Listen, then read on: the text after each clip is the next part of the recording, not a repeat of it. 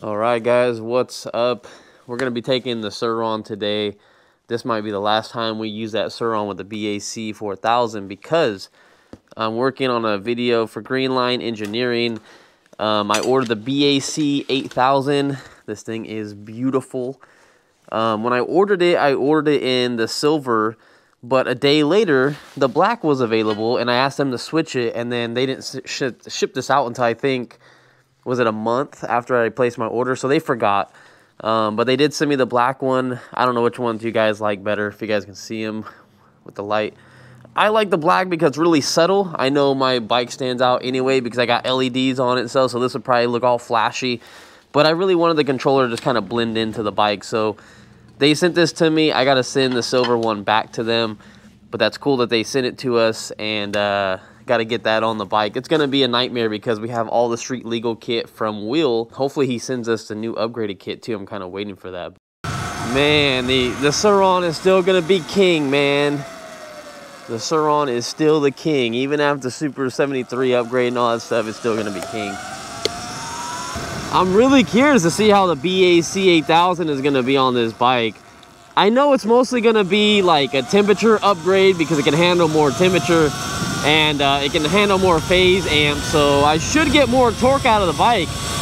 And I'm hoping it can extend our top speed another couple miles per hour but the main goal is to get more uh, torque out of the bike and put a uh, like keep on keep the sprocket I currently have on or maybe drop back down to the 42 tooth so I can still reach my uh, goal of 80 miles an hour on the Sur-Ron because so far we did a speed test. If you haven't seen that video, I think it's got 75,000 views so far.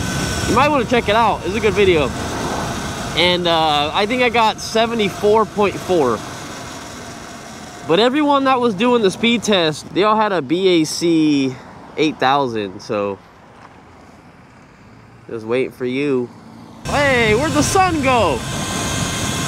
Oh, man. I feel like the sun just left us. Okay, no, it's coming back. It's coming back. A couple days ago, uh, we rode the Ride1Up Core 5, an actual electric bike. You have to pedal. And uh, we got hit with the rain. I mean, it was very light and it was towards the end, right before I was work. But man, that sucked. Being in the rain on an electric bike, you just never know if any of the components are going to go out or uh, the LCD display is going to get ruined or anything. You just never know. I don't know. I would rather not have my electric bike in uh, in those conditions. Like when there was a company uh, that sent me, I think it's Giraffe Tools. They sent one to Dylan Thompson also, but uh, they're like, yeah, you can know you can wash your bikes and stuff with it. It's like, no, I am not washing my bikes with a pressure washer. Not the electric ones anyway. Like even if you do, and you can, you might be all right. It's mostly you're gonna get rust on a lot of uh, a lot of the bolts too.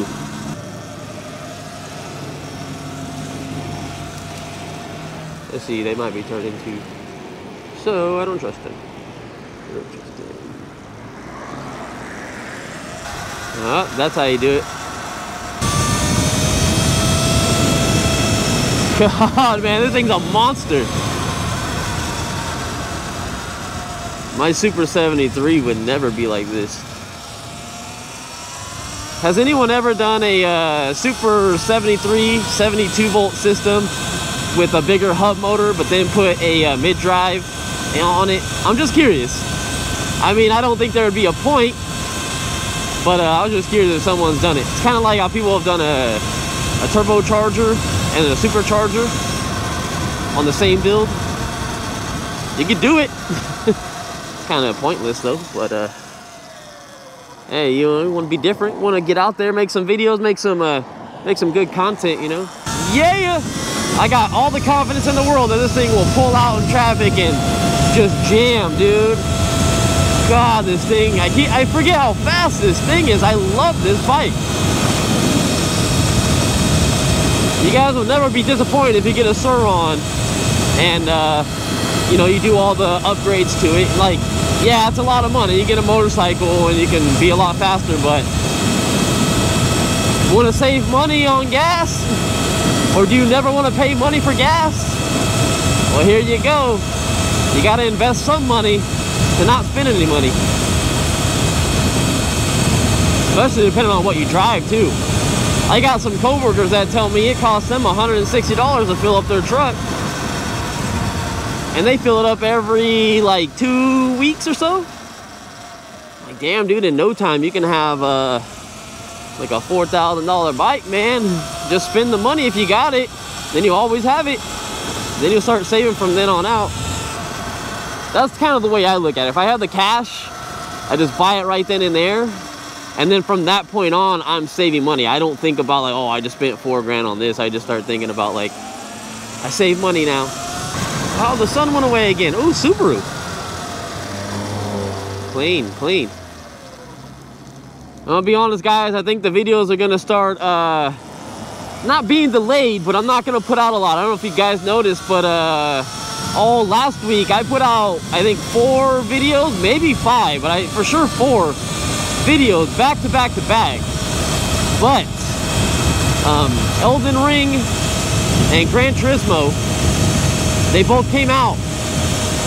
And I haven't got to play Elden Ring yet, but I played uh, but I played Gran Turismo 7. Let's pedal past these people.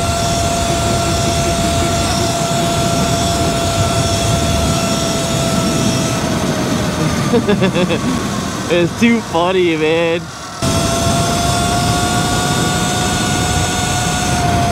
God, I love this bike. Love it. 60 miles an hour in like no time. And I wasn't flooring it for the first like, like two seconds through that intersection. I waited. I just don't want to pop a wheelie because I got to lean forward so it doesn't pop a wheelie. I still had to a little bit, but not much. But man, I got to work way too early again. Oh, good stuff though, good stuff.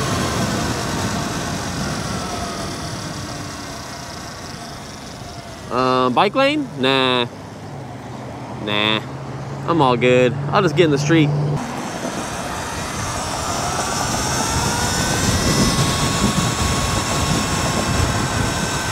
Let's just start pedaling. It'll be funny.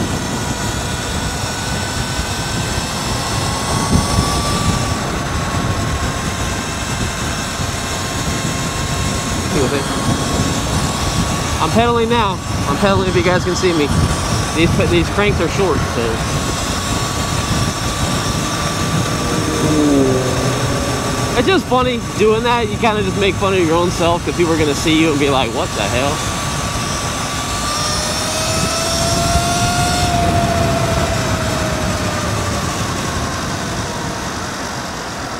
People are jamming today coppers. Coppers are out. I don't know if you saw that cop, but I'll see you at nighttime because I know the video is probably going to be short. This is the fastest way I found out. It does screw up traffic, but this is so quick to do this. Peace out, suckers! Man, I'm going so fast that my uh, mirror moved. What the heck?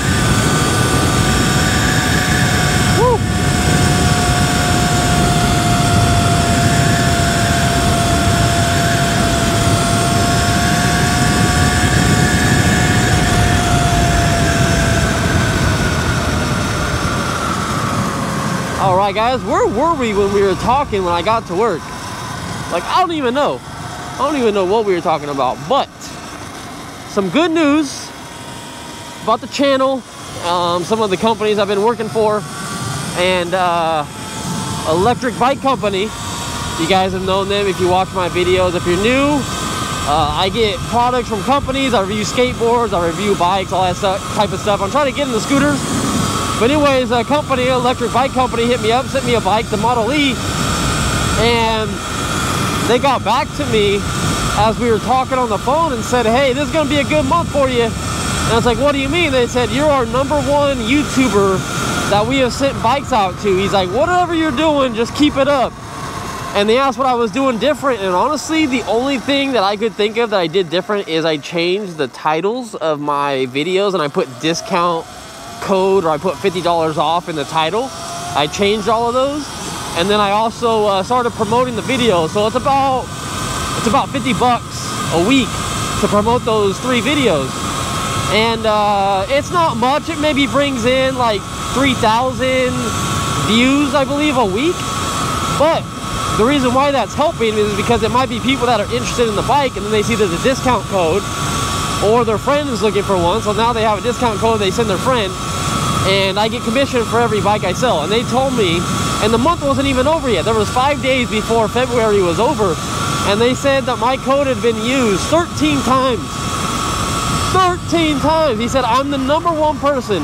I'm above every YouTuber that they have done collaborations with. I was like, no shit, that is crazy. So uh, that means I'd get a check for $650, which is insane to me. I mean, yeah, it's not like thousands and thousands of dollars, like, but to me, coming from someone that's like really low in YouTube and I'm not really uh, that famous yet. I mean, I'm kind of famous a little bit in the electric bike community, but I'm not like crazy known it's just cool to see that type of stuff. So I was talking to uh, the guy over there, his name's Blake, and he told me that they want to send me another bike. Well, technically, this guy Chris reached out from the company, but then Blake said he'll take care of it. And I said, okay. I was like, well, I want the D2, which is a dual motor. It has a motor in the front, motor in the rear. I think it's like 2,000 watts. But um, they didn't want to send that one to me. They said they're still working out some kinks on it and uh, he doesn't want to send it to me without it being like fully polished up and have no issues with it because he knows how my reviews are I'm pretty honest I'll say if it's uh, bad or not or if it has any issues anyways they want to send me another one. I'm like I don't care. If they want to send me one I'm down to review it so maybe we'll have another bike to review from them. I hope they come through. But that's pretty cool to know that uh, like the collaboration with me and that company worked out very well. And I also try to collaborate with, um, at first it was custom e-bikes. I thought they were the ones that sold the kit until I realized it was Moto Electric Racing is who made those kits. And then custom e-bike was just another website that basically um, did some sales for them. So they probably get commission for helping them sell the kits. And anyway, I, re I reached out to Custom E-Bike and they never got back to me. They said, oh, okay, yeah, let us know your YouTube thing. I sent it to them two weeks later, nothing. A month later, nothing. So I just bought the kit myself. But I really wish I could have done a collaboration with them, kind of like SurRonster did with uh, the company that made the kits for the Razor scooters. I know he did that with them, so he probably made some money. And I'm promoting the hell out of Moto Electric Racing for that Super 73 build, the 72 volt. So I really wish I could have done something like that, you know what I mean? So I'm helping them do sales, but at the same time, I'm also having fun and I'm trying to help you guys. So I'm not, I'm not mad they didn't want to collaborate. I'm just like, ah, I wish I could have, you know, told them after I was making the videos if they still, you know, wanted to work together and maybe give you a discount and then help me uh, make a little bit of money out to the side. It helps me because I can buy other bikes, you know? But pretty cool, pretty cool.